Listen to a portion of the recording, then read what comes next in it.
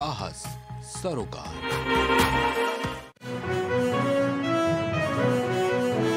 बाईस राज्यों में होगा रोज़गार मेले का आयोजन। पीएम मोदी देंगे सत्तर हज़ार से ज़्यादा नियुक्ति पत्र, मिशन मोड में तैयारी।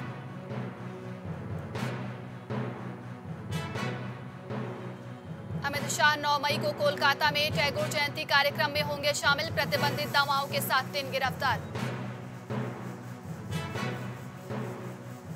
केसीआर का बड़ा दावा, कहा नई औद्योगिक नीति से हैदराबाद आईटी कैपिटल के रूप में बेंगलुरु को पीछे छोड़ने में अग्रसर। मध्य प्रदेश में बीजेपी को लगेगा बड़ा झटका, पूर्व मंत्री दीपक जोशी कांग्रेस में हो सकते हैं शामिल। असम के सीएम शर्मा का कांग्रेस पर तंज बोले, ना हमें राहुल से सीखने का समय है, ना उन्हें सिखाने का समय है।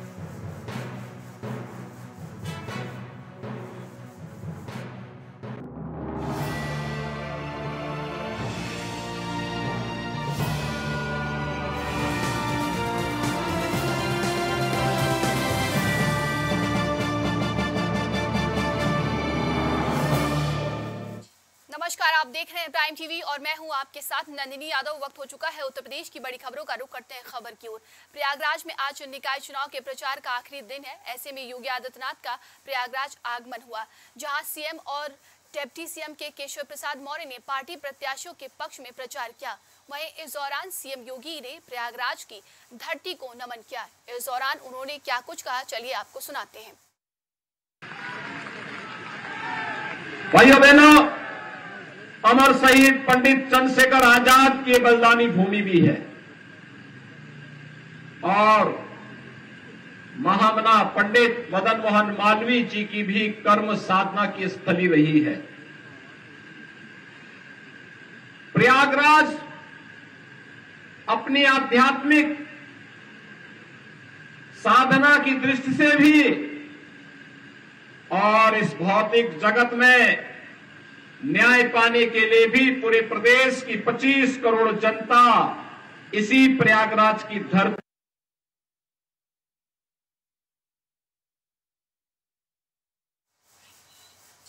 आईपीएल 2023 में रॉयल चैलेंजर्स बेंगलोर और लखनऊ सुपर जायंट्स के बीच मैच में विराट कोहली काफ़ी आक्रामक अंदाज में नज़र आए।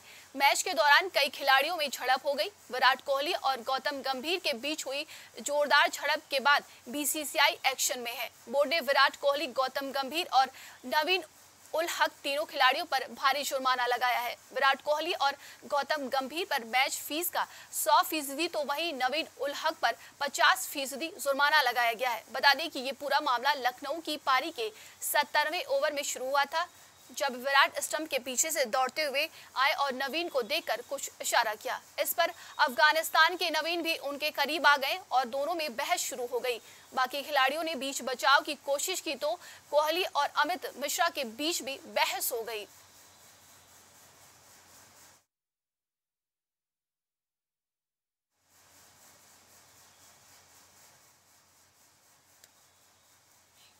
ज़्यादा जानकारी के लिए इस खबर पे हमारे साथ संवाददाता विवेक शाही जुड़ेंगे।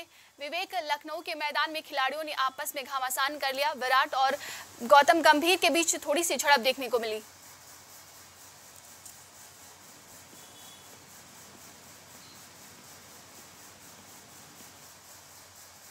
विवेक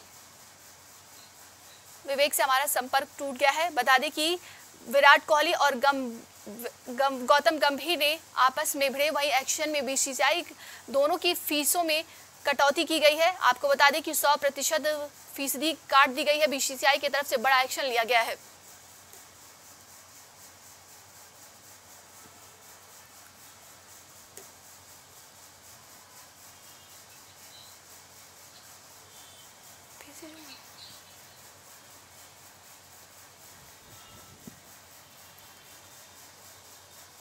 अफ़गानिस्तान के नवीन भी उनके करीब आ गए बता दें कि लखनऊ के मैच में और आरसीबी और लखनऊ के बीच में झड़प हुई है। नवीन भी उनके करीब आ गए दोनों की बहस शुरू हो गई। बाकी खिलाड़ियों ने बीच बचाव की कोशिश की तो कोहली और अमित मिश्रा के बीच भी बहस हो गई है। ज़्यादा जानकारी के लिए इस खबर पे एक बार फिर से हम रुक करेंगे विवेक शाही की तरफ़। विवेक गौतम गंभीर और विराट कोहली के बीच मैच के दौरान थोड़ी सी झड़प देखने को मिली है, जिसको लेकर बीसीसीआई जो है एक्शन मोड में नज़र आई है।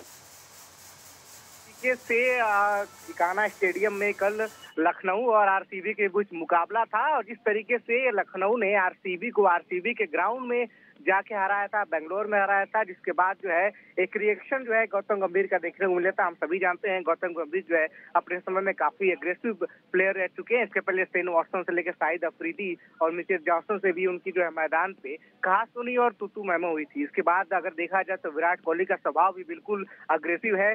कई बार जो है, इस तरीके की चीज़ें उनके साथ भी देखने को मिली है।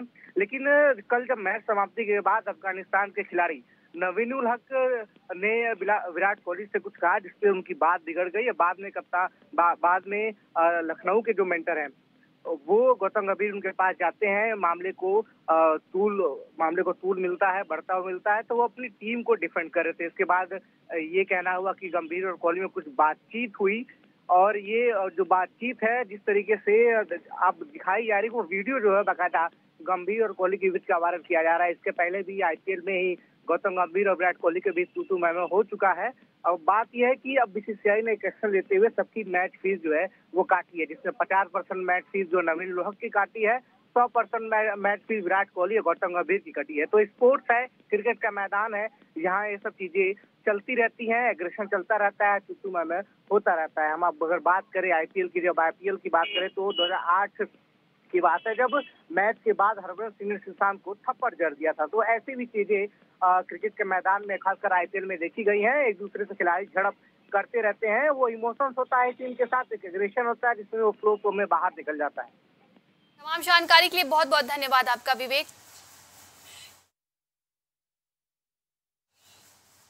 औरैया बसपा जिला यूनिट लगातार पार्टी विरोधी गतिविधियों में कार्य कर रहे नेताओं को निकाल रही है। इसी क्रम में बसपा जिला यूनिट ने पूर्व राज्य मंत्री व पूर्व विधायक रामजी शुक्ला को और उनके भाई लालजी शुक्ला को पार्टी विरोधी गतिविधियों में लिप्त रहने के कारण निष्कासित कर दिया। आपको बता दें कि बसपा के कद्दावर नेता रामजी शुक्ला के भाई लालजी शुक्ला भी पिछले विधानसभा चुनाव में सिकंदरा विधानसभा सीट से बसपा के प्रत्याशी थे और इस बार भी लालजी शुक्ला ने नगर पालिका परिषद में बसपा के घोषित प्रत्याशी मुन्ना पाल के खिलाफ निर्दलीय पर्चा भरा है। और वो लगातार औरैया नगर पालिका परिषद में वोट मांग रहे हैं, जिसके कारण बसपा जिलाध्यक्ष कमल गौतम ने प्रेस नोट जारी कर पूर्व राज्य मंत्री व विधायक रामजी शुक्ला और लालजी शुक्ला को निष्कासित करने का विज्ञप्ति जारी की है। नगर पंचायत में भी पाँच पार्टी के नेताओं को बसपा निष्कासित कर चुकी है।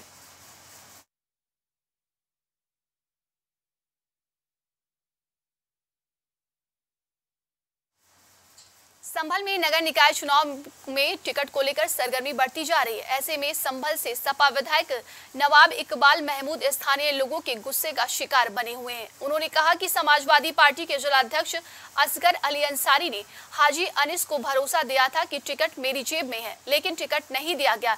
इसको लेकर काफ़ी गुस्सा है। वही स्थानीय लोगों ने समाजवादी पार्टी को खूब भरा, भला बुरा भी कहा। यहाँ तक की उन्होंने सपा का बायकॉट करने की भी चेतावनी दी। स्थानीय लोगों ने कहा, अगर हाजी अनीस ने भी हमारा साथ नहीं दिया तो हम हाजी अनीस को भी बॉयकॉट कर देंगे। ऐसा माना जा रहा है कि अंसारी समाज निर्दलीय प्रत्याशी फराना यासीन को भी समर्थन कर सकते हैं। अंसारी समाज एकजुट होकर एक प्रत्याशी को चुनाव लड़ाएगा, जिसमें सब एक साथ रहेंगे। समाजवादी पार्टी ने संभल सपा विधायक इकबाल महमूद की पत्नी को टिकट दिया है। ऐसे में अंसारी समाज, समाजवादी पार्टी के विरोध में समर्थन देने की बात कह रहा है।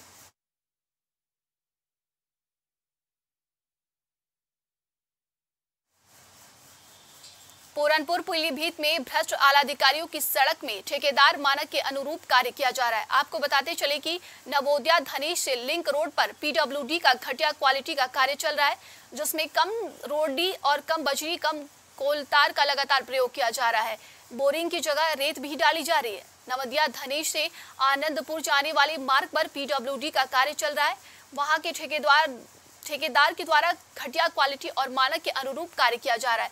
और जहाँ एक और सरकार के द्वारा बच्चों को शिक्षा और स्वच्छता प्रदान करने की बात कही जा रही है, वहीं ठेकेदार के द्वारा बाल भी श्रम करवाए जा रहे हैं। कई नाबालिग बच्चे कार्य करते भी नज़र आए हैं।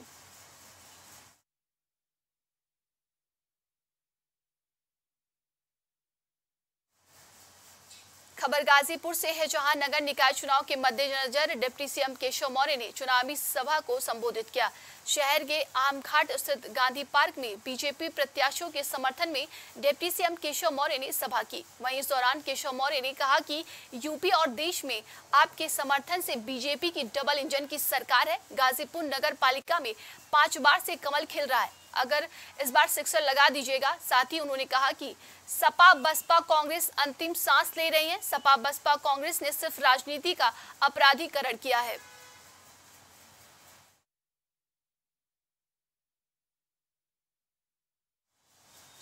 नगर निकाय चुनाव के आखिरी समय कार्यकर्ताओं में जोश भरने का काम आम आदमी पार्टी के सांसद संजय संभाल संभल पहुँचे, जहाँ उन्होंने आम आदमी पार्टी के प्रत्याशी फिजा खान के पक्ष में युवाओं में जोश भरा।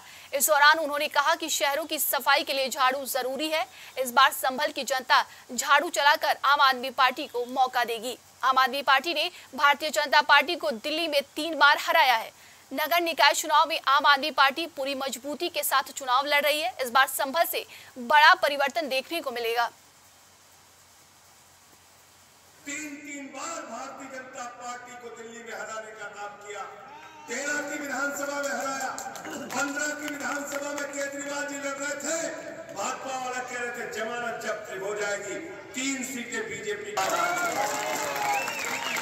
दो हज़ार बीस का चुनाव हुआ। नफरत फैलाया। देश को बांटने का काम किया। समाज को बांटने का काम किया। लेकिन 2020 के चुनाव में बासठ सीटें आम आदमी पार्टी की आई, आठ सीट भारतीय जनता पार्टी की आई।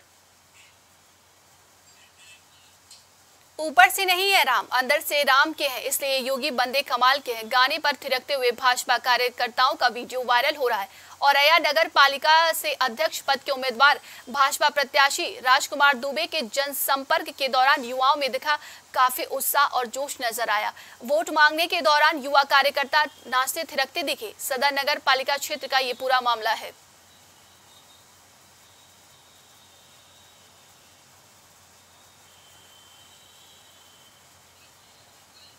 बता दें कि बीजेपी कार्यकर्ताओं का एक वीडियो वायरल हो रहा है, जिसमें वो एक गाने पर थिरकते हुए नज़र आ रहे हैं। वहीं वोट मांगते समय गाने पर बीजेपी के कार्यकर्ता और वहाँ के प्रत्याशी, आपको बता दें, झूमते हुए नज़र आए हैं, जिसका वीडियो सोशल मीडिया पर तेज़ी से वायरल हो रहा है।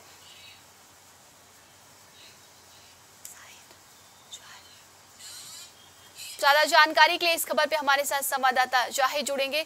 जाहिद, बीजेपी कार्यकर्ताओं का एक वीडियो वायरल हो रहा है जिसपे वो बीजेपी के एक गाने पर थिरकते हुए नज़र आ रहे हैं। जी, मैं आपको बता दूँ कि और यह वीडियो वायरल हो रहा है, जिसमें बीजेपी के कार्यकर्ता थिरकते नज़र आ रहे हैं। उनमें काफ़ी उत्साह भी देखने को मिल रहा है। वही आप तस्वीरों के माध्यम से साफ़ देख सकते हो किस तरीके बीजेपी के कार्यकर्ता ढोल लगाने व डीजे की धुन के ऊपर थिरकते नज़र आ रहे हैं। तमाम जानकारी के लिए बहुत बहुत धन्यवाद आपका जाहिद।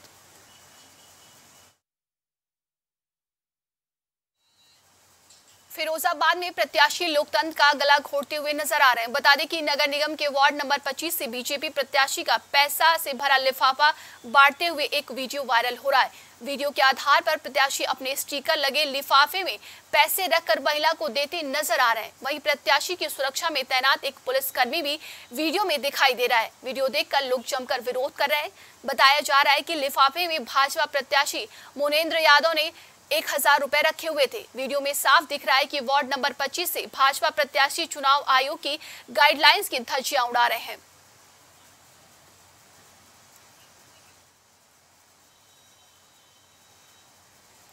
तो बीजेपी प्रत्याशी ने वोटरों को पैसे बांटे हैं, जिसका वीडियो सोशल मीडिया पर तेज़ी से वायरल हो रहा है। बताया जा रहा है कि बीजेपी प्रत्याशी लिफाफे में एक एक हज़ार रुपए वोटरों को बांट रहे थे, जिसका वीडियो सोशल मीडिया पर तेज़ी से वायरल हो रहा है।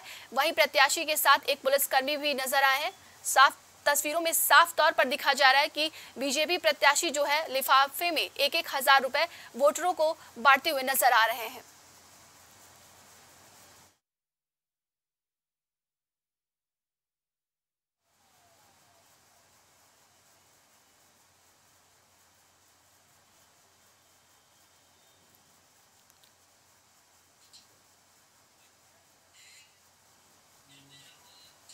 बसपा पार्टी के जिलाध्यक्ष औरैया द्वारा पाँच पदाधिकारियों को अनुशासनहीनता के चलते पार्टी से निष्कासित किया गया, जिसके चलते लगभग आधा सैकड़ा कार्यकर्ताओं ने बसपा का दामन छोड़ते हुए निर्दलीय प्रत्याशी के समर्थन में वोट मांगा। बता दें कि यूपी के औरैया जनपद के दिव्यापुर नगर पंचायत में बसपा से टिकट न मिलने से निर्दलीय प्रत्याशी के रूप में बसपा के पदाधिकारी रामकुमार अवस्थी की पत्नी के समर्थन में वर्तमान समय में बसपा जिला कार्यकारिणी के पदाधिकारी वोट मांग रहे थे। जिसके चलते बसपा जिलाध्यक्ष द्वारा पाँच पदाधिकारियों को निष्कासित किया गया। वहीं पाठ पदाधिकारियों को बता दें कि पाँच पदाधिकारियों को निष्कासन को लेकर इन पदाधिकारियों का समर्थन करते हुए लगभग आधा सैकड़ा बसपा कार्यकर्ताओं ने बसपा का दामन छोड़ते हुए निर्दलीय प्रत्याशी राम कुमार बस्ती की पत्नी के समर्थन में वोट मांगा। वहीं इन सभी कार्यकर्ताओं का ये भी आरोप था कि बसपा के जिलाध्यक्ष की हठ धर्मिता के चलते उन लोगों ने बसपा का दामन छोड़ा है, लेकिन आज भी उनकी श्रद्धा बसपा सुप्रीमो मायावती के साथ है। यहाँ पर सबसे बड़ी समस्या, नगर में आवारा पशु घूम रहे हैं। नगर में सड़कों पर गड्ढे हैं, जल निकासी कोई व्यवस्था नहीं है, जिसकी वजह से यहाँ पर 250 एकड़ ज़मीन पानी से भरी हुई है। और सबसे बड़ी समस्या इस नगर में, जिस, जो वर्तमान में चेयरमैन था, उसने पाँच साल जनता के साथ क्या किया है, उसका जनता ग्यारह तारीख को जवाब देगी। मोहम्मद काशीराम जी के साथ जुड़ते हुए आठ दिन तक बहुजन समाज पार्टी बिलोंग करता हूँ, लेकिन कमल दोहरे बहुजन समाज पार्टी के जिलाध्यक्ष की हरधर्मी से, कूटनीति से चापलूसी से लोगों को धोखा दे करके कार्यकर्ताओं को और हमारे वर्तमान में तीस साल से जुड़े कार्यकर्ता बहुजन समाज पार्टी के राम कुमार अवस्थी जी को धता बता करके और भारतीय जनता पार्टी के अरविंद कोरवाल को बसपा में सबमिट करके और टिकट दिलवा के बहुजन समाज पार्टी का अपमान किया है, उसे हम कतई बर्दाश्त नहीं करेंगे। जिन हमारे जो बहुजन समाज पार्टी के जो जमीनी कार्यकर्ता थे, जिन्होंने सब समाज को लेकर बहुजन समाज पार्टी को दिव्यापुर औरैया में बढ़ाया, जो हमारे वो निष्ठावान कार्यकर्ता पार्टी से निकाले गए हैं, उनके पक्ष में मैं पवन तिवारी, सवर्ण मोर्चा का विधानसभा अध्यक्ष बहुजन समाज पार्टी से इस्तीफा देता हूँ। अपने कम से कम 200 आदमियों के साथ मैं बहुजन समाज पार्टी से इस्तीफा देता हूँ। जुड़ेंगे जाहिद कई पदाधिकारियों ने बसपा का दामन छोड़कर निर्दलीय प्रत्याशी के लिए वोट मांगा है। जी रंजी मैं आपको बता दूँ कि बसपा सुप्रीमो द्वारा एक लेटर जारी किया जाता है, जिसको लेटर को जिला जिला अध्यक्ष के पास मीडिया पर पहुँचता है। वहाँ पर जिला अध्यक्ष द्वारा पाँच लोगों को निष्कासित किया जाता है। उन्हीं को नाराज़ होकर आज उन्होंने निर्दलीय प्रत्याशी राम कुमार अवस्थी के समर्थक में उनकी पत्नी जो चुनाव लड़ रही संध्या अवस्थी के समर्थक में सारे लोग चले गए। उनका आरोप भी है कि उन, वो कई वर्षों से उनके साथ में काम कर रहे बराबर कर्मक प्रत्याशी भी रहे हैं। आज उन लोगों को निष्कासित किया गया, इसके होकर नाराज़ होकर उनके साथ में आधा सैकड़ा से अधिक लोग भी निर्दलीय में चले गए हैं। तमाम जानकारी के लिए बहुत बहुत धन्यवाद आपका, चाहे हरदोई पाली कस्बे में नगर निकाय चुनाव के मद्देनजर पहला मिलिट्री फोर्स और पुलिस बल के साथ एसीपी ने फ्लैग मार्च किया। इस दौरान बिना किसी दबाव के मतदान करने की एसीपी ने नगरवासियों से अपील की। उन्होंने कहा कि चुनाव आयोग के निर्देशानुसार निष्पक्ष चुनाव कराने के लिए पुलिस ने कमर कसी है। बता दें कि पाली कस्बे में नगर निकाय चुनाव को देखते हुए एएसपी पश्चिम सीओ और प्रभारी निरीक्षक ने पैरामिलिट्री फोर्स और पुलिस बल के साथ फ्लैग मार्च किया। एएसपी ने नगरवासियों से अपील करते हुए कहा कि निर्भीक होकर मतदान करें, किसी से डरने की ज़रूरत नहीं है।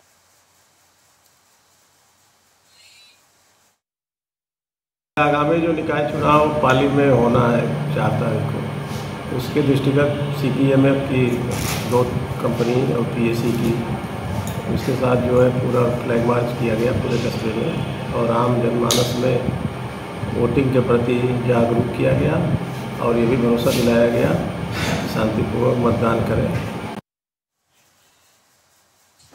कानपुर में वार्ड नंबर छप्पन अनवरगंज क्षेत्र बेकनगंज जो ज्ञान चौराहा बने कांग्रेस प्रत्याशी नूर आलम अजू कुरैशी के कार्यालय का उद्घाटन किया गया।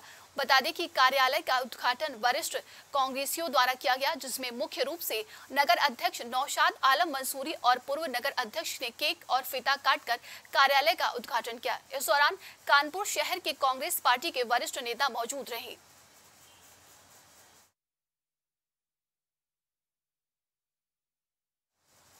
प्रयागराज क्षेत्र के परानीपुर स्थित ईट भट्टे के समीप बारिश के दौरान आकाशीय बिजली गिरी, जिसके जद में आने से दो लोगों की मौके पर ही दर्दनाक मौत हो गई, जबकि दो लोग गंभीर रूप से घायल हो गए। घटना को लेकर मृतक के परिजनों समेत इलाके में कोहरा मच गया। बताया जा रहा है कि रोज़ाना की तरह सभी लोग भट्टे पर कार्य कर रहे थे। इस दौरान तेज गड़गड़ाहट के साथ आकाशीय बिजली गिरी, जिसकी जद में दो लोगों की मौके पर ही दर्दनाक मौत हो गई, जबकि दो लोग बुरी तरीके से झुलस गए। जिसके बाद ग्रामीणों ने दोनों घायलों को नजदीकी अस्पताल में उपचार के लिए भर्ती कराया, जहाँ हालत नाजुक देख डॉक्टर ने दोनों को जिला अस्पताल के लिए रेफर कर दिया है।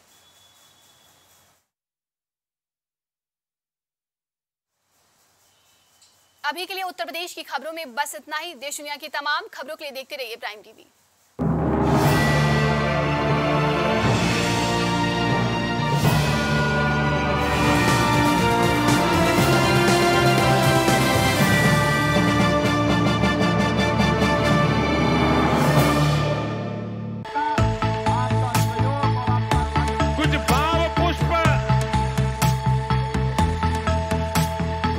आप देख रहे हैं प्राइम टीवी सच साहस सरोकार